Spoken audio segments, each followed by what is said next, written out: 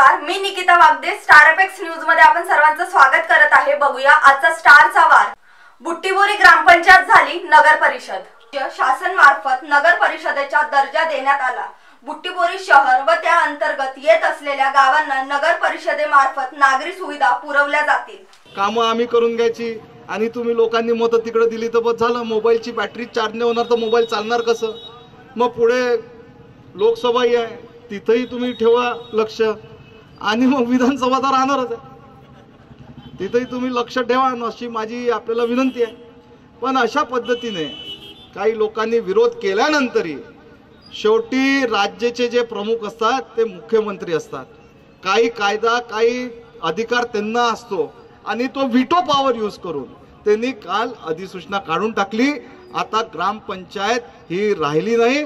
आजपासून तुमची म्हणजे कालपासून ही तुमची नगर परिषद झाली. आणि मला आनंद आहे की माझ्यामुळे ज्या सरपंचाला माजी सरपंच करायला लागला झालं. म्हणजे ते आता कालपर्यंत सरपंच होते.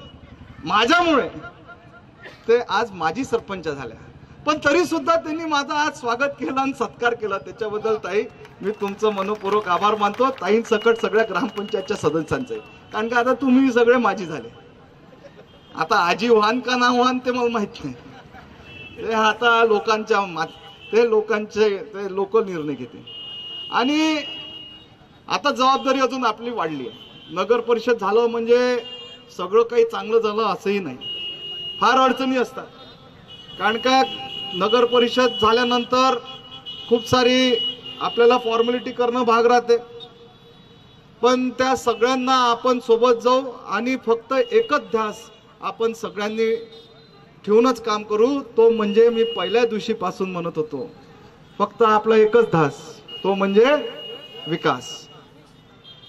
फक्त विकास आणि विकास हेच धोरण जेव्हा मी निवडून आणायच्या अगोदर पण मी घेतला आणि मला आनंद आहे या साडेतीन चार वर्षामध्ये जवळपास आपण दोन हजार कोटीचे कामं आपल्या ह्या मतदारसंघात केले आणि त्याचा माझा मला गौरव आहे.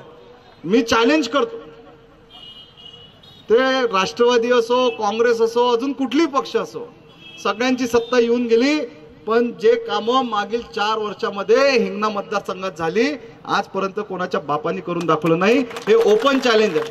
आणि ज्याला हे चॅलेंज स्वीकारायचं असेल आणि त्यांनी आपल्या कामाचा आढावा दिला पाहिजे पंधरा वर्ष असेल की दहा वर्ष असेल मी म्हणत नाही. काही तर मंत्री पण होऊन गेले. त्यांनी आपल्या कामाचा आढावा द्यायला पाहिजे. आणि मी माझ्या कामाचा चार वर्षाचा आढावा देईल. त्याचे अर्धे ते सुद्धा राहिले ना तर राजकारणात संन्यास घेईन एवढं मी सांगू इच्छितो. पण आता नगर परिषद आता अजून माहीत नाही आता जिल्हा परिषदचे ते इलेक्शनमध्ये आपलं राहीन की नाही राहीन. नाही त्यांनी काढलं तर चांगला आनंद आहे. नाही केलं तर आपण कोर्टाच्या दरवाज्यात ऑलरेडी उद्या जाणार आहोत.